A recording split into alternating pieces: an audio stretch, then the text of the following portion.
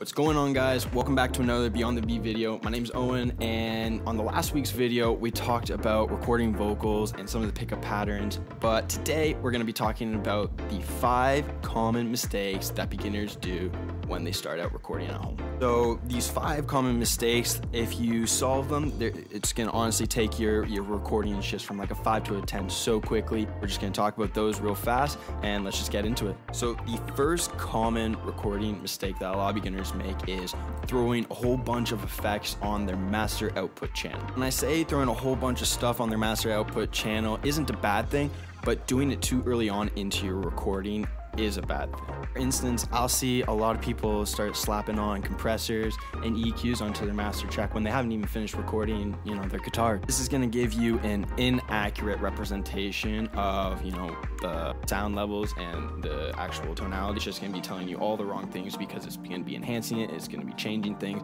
You don't want to be doing that. You don't want to be slapping things onto the master channel until you're right before the mastering stage of your song. Next most common mistake that a lot of people make is their signal to noise ratio. Talking about, you know, the signal to noise ratio, what I'm talking about is when you're recording, you know, your microphone, your recording level is so low that when you're bumping up the volume, you're really going to get all that nasty, nasty noise that you really don't want to be hearing. Easiest way to fix this is just to make sure that your input level of your microphone or your guitar or whatever you're recording is solid. It's coming in at like, you know, that minus 12 dB level, and that's going to allow you to have a lot of movement. Common mistake number three. The third most common mistake I see is a lot of the times I see uneven left and right recordings. You recorded a guitar and a lot of times you want to double that guitar part, but what you'll do is you'll rec record the first guitar part at a certain level and then you'll adjust the gain for the second one and that way when you start to pan your instruments, you know, the left side or the right side is going to be a lot heavier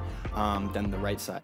Name of the game is consistency. So if you're recording one guitar one way, just make sure that you know you, you keep the same gain level and you know you keep the same practices across the board. Fourth most common recording mistake for beginners is using too much reverb. Reverb is awesome. I love it just as much as the next guy, but you know, using too much is just gonna make your recording sounds super muddy and unclear. The way to figure out whether you've got too much reverb or the right amount of reverb is, you know, put some reverb onto the uh, instrument track and then remove it. And if it sounds, you know, like it fits into the mix with it, and then you take away and it sounds like something's missing, that way, you know, you got a good amount. Last most common mistake a lot of beginners make is not letting their instrument recordings ring out. When I'm talking about ringing out, I mean like, you know, hitting that last note of the song and cutting the recording before the instrument has totally rung out and you can't hear. Let it all fade out. It allows for smoother transitions.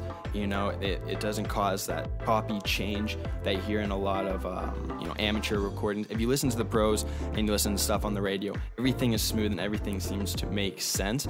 So the way you're gonna do that is if you let your instruments ring out, so you get that whole fade. One more time for the people in the back who may have not heard. Consistency is the name of the game. Okay, guys, that's all we're to talk about for today. If you want any more information on the Beyond the Beat Music School and Studio, I'll put their information down below. If you guys have any questions on, you know, some more recording things, just leave them in the comments down below and I'll make sure to check them out. Okay, guys, be sure to check in for the next video next week. It'll come out Thursday at 11 a.m. each week and just make sure to tune in. Remember to like, subscribe, and share this video. All right, guys, I'll catch you later and have an awesome day.